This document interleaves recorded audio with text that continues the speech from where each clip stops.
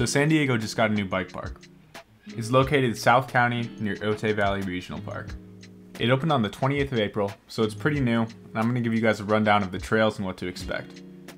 The park is located pretty much right off the 805, and even though they don't have a parking lot, there's a lot of street parking right on Rancho Drive. The park features two main jump lines. On the right hand side you can see the uh, blue line, and down the middle the green line all coming together at the end with a nice big wooden berm. The park also has a tech section, a pump track, and a kids section, so it's definitely great for all skill levels.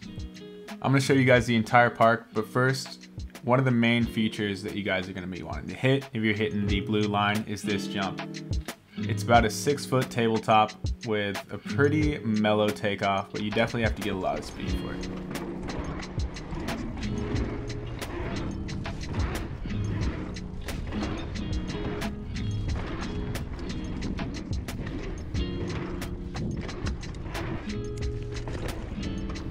So that was the blue line. Now let's check out the green.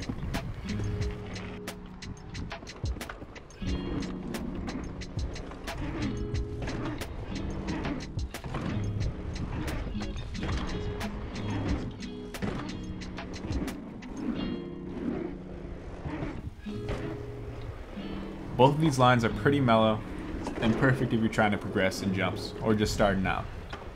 I definitely recommend this park for families, kids trying to get into mountain biking, or people who aren't quite ready to hit doubles yet, but want to get some jump time in.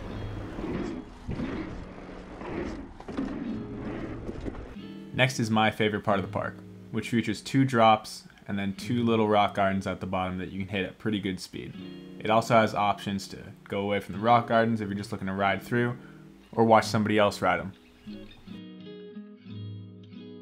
Something pretty fun about this park is they got these super wide skinnies pretty much everywhere along the trails, so you're never really bored riding from one place to another.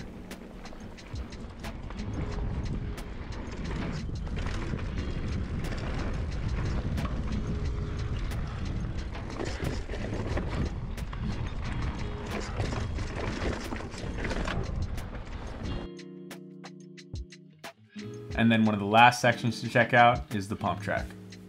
This pump track is pretty long, as you guys can see. It has a lot of really steep, tight berms. You can definitely ride this with anything from a skateboard to a mountain bike to a BMX bike.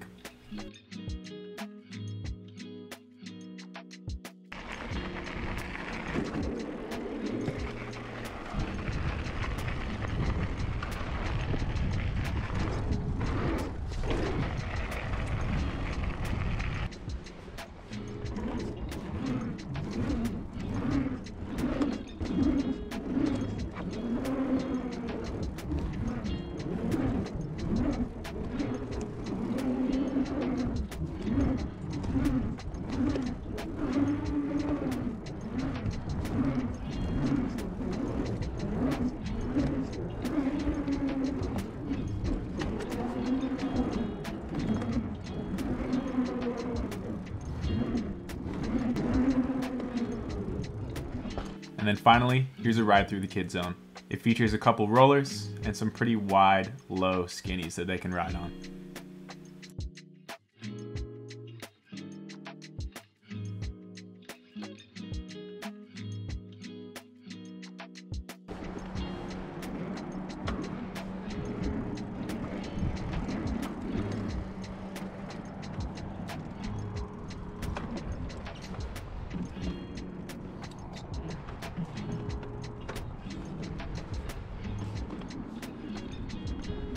The area actually has a lot to offer with little side hits if you're willing to do some exploring.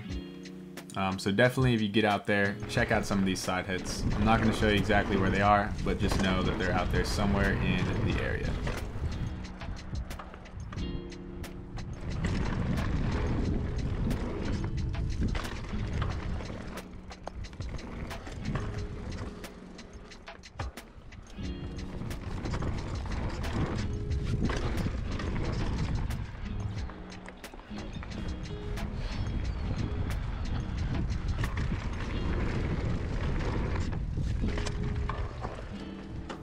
Thank you guys for watching, and uh, feel free to leave a comment if you guys have any questions about the bike park, how to get there, or anything else you might want to know.